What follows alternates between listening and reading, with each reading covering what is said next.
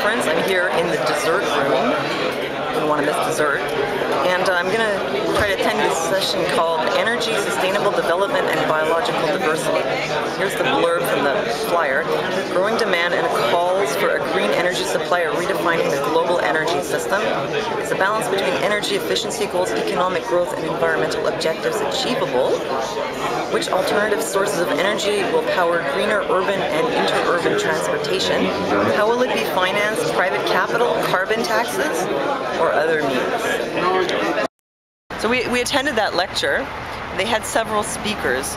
Uh, my favorite one was uh, Keith Cooley, President and CEO of Next Energy from the United States.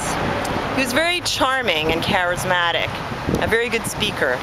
But what I enjoyed even more was how ridiculous his message was.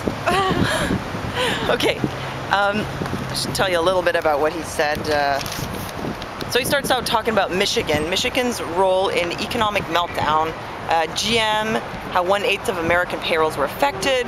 Uh, now in Detroit, they have 40% unemployment. Four out of five uh, teenagers don't graduate high school. Um, they're talking about uh, green energy and green energy jobs how it has created 110,000 new jobs and could create 100,000 more, is really kind of a drop in the bucket though if you think about it. And they could, at the same time, could eliminate carbon dioxide from the atmosphere and create employment. It's win-win. It says people are not motivated. They still leaving their lights on. You got the high cost of carbon and the high stock prices for unhealthy things. Uh, will people be willing to give up the things they like? Well, we knew that that's where this is going to head to um, decrease in the quality of life, having to give things up. And he said you need to make life learning a requirement. Okay, okay, this was my absolute favorite part. Why are there no aliens? he says SETI has never found alien life. Now there are three possibilities. A, maybe the aliens came here and thought we were too dumb. Or B, maybe the aliens came here and thought we were too dangerous, so they left. Or C, maybe millions of life forms grew out of the mud and were on the verge of space travel, but then their technical prowess outran their social sense and they killed themselves off. So in other words, the reason there's no ev evidence, the reason there's no evidence of alien life here is because aliens don't exist because they got too technological and they died.